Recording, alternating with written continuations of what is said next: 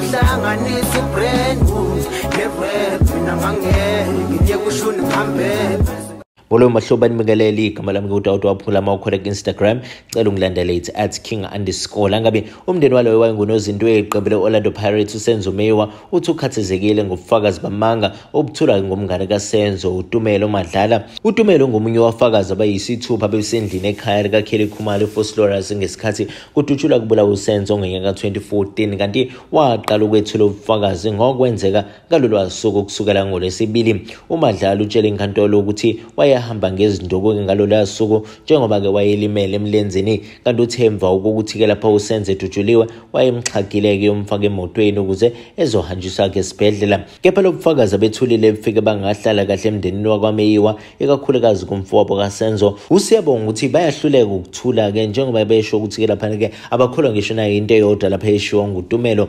Uthe kwenzeka kanjani ukuthi utumelo waqukula isenze ekubeni wayemkhulu-ke kunaye futhi-ke hamba ngezinduku? Uqhubo wathi kukhona okunuka santongwana kanti baphoxekile ngoba-ke wayengumngane omkhulu kasenza. Bazi ukuthi kungane-ke sengezimithiyo. Obekwathi kudala ekholelwa ukuthi labasolwa abaneke abasenkantolo bamsulwa kanti kumbulale uyapepemuka lapha ngaphandle. Yize kunjalo madlala ethula ubufakazi utshela inkantolo ukuthi umbulale kasenza ungomunye-ke kulabalisa-ke abahlanu.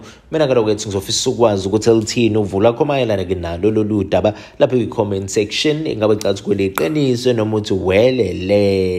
Inganekwana ngicela yi-comment section. Ungakhohlwa ukucindezela like button ya-subscribe button okulandela ku-instagram it's at king underscore langabe from me usomdakadaka ngithi ba sengihembe